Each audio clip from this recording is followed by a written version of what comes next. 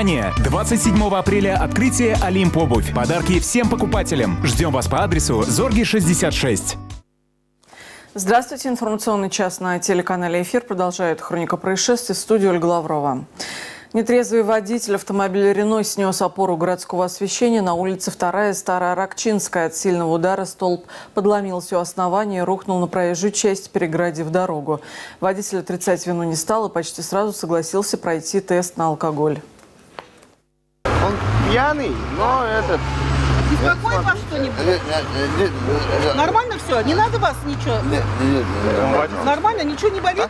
Несмотря на серьезность аварии, водитель не получил ни царапины. Пьяным, как водится, везет. Но вот и объяснить, что произошло, мужчина решительно не мог. Из его невнятной речи можно было понять лишь то, что он говорит о неком велосипедисте, который оказался на пути его машины.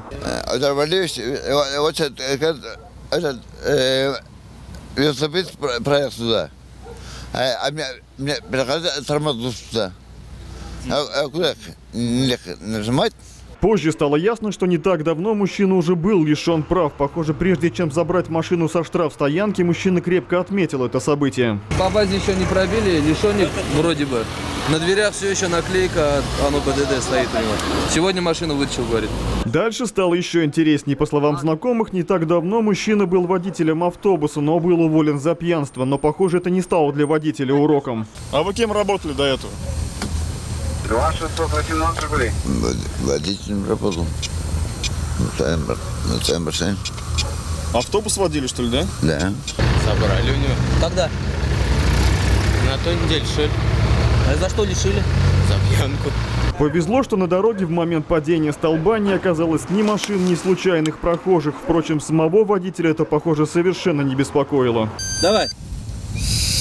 Давай, давай, давай, давай, давай, давай, давай, давай, давай, давай, давай, давай, давай, давай, давай.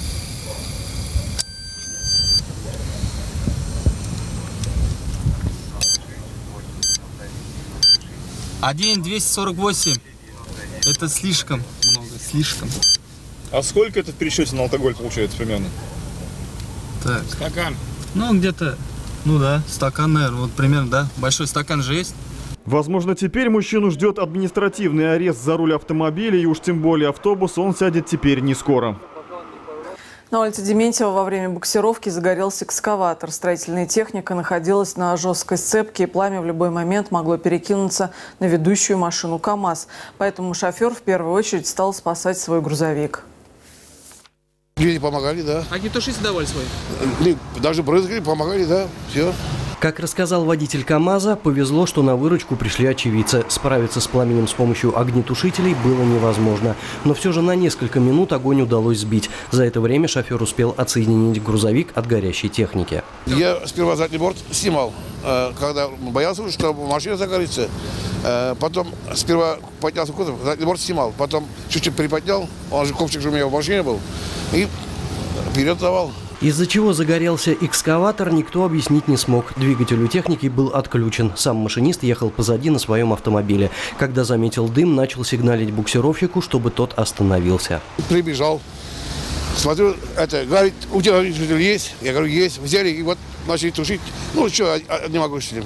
Не затушили. Машинист утверждает, что до этого проблем с электропроводкой экскаватора не было. Тем не менее, дознаватели считают, что возгорание могло произойти из-за короткого замыкания.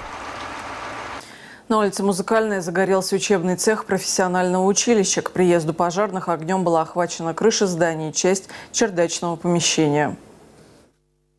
Цеха, принадлежащие училищу, сейчас занимают несколько арендаторов. Днем здесь трудится до 7 человек, но к моменту возгорания все они уже покинули здание. Огонь, который вспыхнул на чердаке, заметили местные жители. Какая-то угроза, как считаете, есть там серьезно чему-то? Пока нет. Что конкретно там сейчас горит? Вот, вот, вот видите, скворечник. Вот это он сгорел. А в самих цехах? Все нормально. А вот по мнению очевидцев, угроза все же была. В здании постройки 20-х годов деревянные перекрытия. Кроме того, вплотную к цехам располагаются около 200 гаражей. Причиной возгорания люди считают детскую шалость. Здание никем не охраняется и попасть на чердак местная детвора может совершенно свободно. Лично мое мнение, вон видите, там дырка, да? Вот мои рядом гаражи там. И вот я все время предупреждал, чтобы закрыли этот вход. Дети там лазят все время на крышу. Вот долазились. Ну, лазят на счета, курили, может, и что. Выкинули окурок. Кто будет возмещать ущерб от пожара, пока не ясно. Несмотря на то, что цех и оборудование в нем не пострадали, крыши строения потребуется серьезный ремонт. Рано утром на улице Баттершина «Лада» 12 модели на всем ходу протаранила припаркованную обочину «Газель». От удара последняя откатилась на 50 метров и едва не врезалась в бетонный столб. Состояние тоже непонятно. Ну, запах и прочего там, не, не знаете? Какой-то тут не до этого. Его бы вытащить. Водители и пассажиры «Лады» доставали из разбитой машины бойцы пожарной охраны. Оба человека получили серьезные травмы. Впрочем, это и не удивительно. По словам очевидцев, «Лада» мчалась с огромной скоростью. Скорость. Все, больше ничего нет. Скорость. Вот она, э, дорога, видишь, палили. Все занесло и ушел. За несколько минут до аварии по улице Баттершина проехала поливальная машина. Похоже, что на мокром асфальте мужчина просто не справился с управлением. Вся сила удара пришлась на водительскую сторону. Лицо в крови, ноги зажаты. Может, перелом. Ноги зажаты были. Ну, в сознании. э, В сознании, да, образование. сознание. Запах алкоголя не наблюдалось. Как вот не выдыхать, как дома? В неадекватном состоянии человек мог находиться и от болевого шока. Разбитый автомобиль временно отправится на штрафстоянку. Владельцу же «Газели» теперь придется взыскивать ущерб со страховой компании виновника ДТП. Если бы все случилось не в утренние часы, а днем, то пострадавших в этой аварии могло быть и больше. После перерыва мы продолжим. Оставайтесь с нами.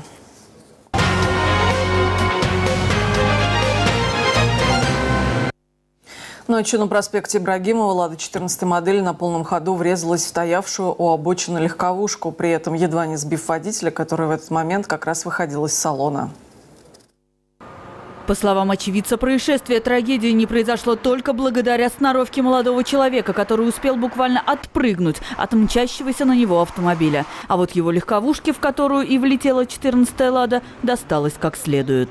Вышел, включил аварийку, начал перестраиваться.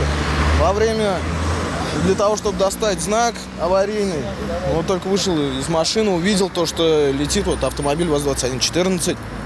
Успела как бы отскочить в сторону, и вот произошел удар на том месте. И машина уже без водителя даже сюда переехала на поребрик. Уходила с другого столкновения. А та машина, от которой вы уходили, не остановилась ничего? Нет, она спокойно уехала. Водитель «Лады» 99-й модели, которого едва не сбила 14-я, от каких-либо комментариев отказался, но откровенно признался, что не видел никакого постороннего автомобиля, который якобы подрезал 14-ю и спровоцировал аварию. Так или иначе, полную картину происшествия теперь будут восстанавливать сотрудники ГАИ. Ну и если вы стали очевидцем происшествия или сняли интересное видео, звоните 248-0202 или пишите на электронную почту.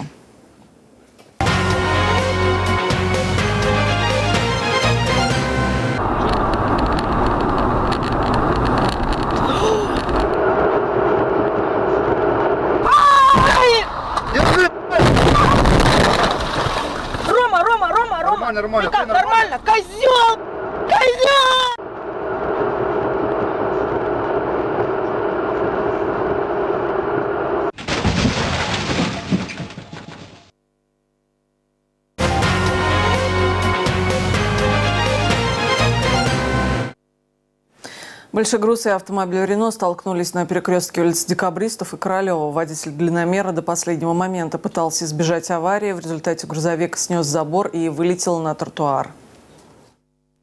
Вы откуда куда ехали? Оттуда вот так вот. Водитель автомобиля «Рено» достаточно эмоционально рассказывал о том, как и куда именно двигался. Мужчина не отрицает, именно его неожиданный маневр заставил водителя длинномера резко вывернуть руль и вылететь на тротуар. Правда, избежать столкновения все равно не удалось. Ну, со средней полосы пристраивался. И все. Получилось подрез. Пытался уйти. Вот средний ряд, идите посмотрите на дорогу. И все-таки уверен водитель Рено, именно благодаря своевременной реакции водителя длинномера последствия аварии удалось свести к минимуму. Больше всего пострадал железный забор, отделяющий тротуар от проезжей части. Рено получил незначительные повреждения, большегруз и вовсе всего пару царапин. Ну и на улице Чешмеле девушка, управляя автомобилем Toyota, не справилась с управлением, пересекла тротуар, снесла декоративный забор и остановилась в палисаднике, едва не врезавшись в стену жилого дома.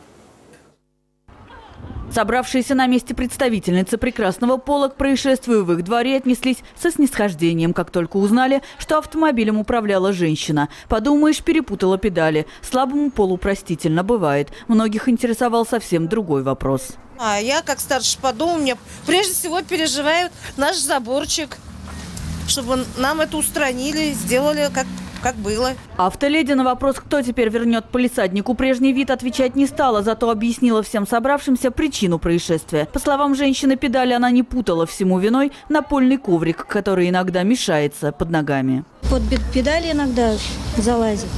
А тут он раз зацепился и ну, не заметила, я не знаю. Нажала на газ и об коврик э, педаль газа задержалась.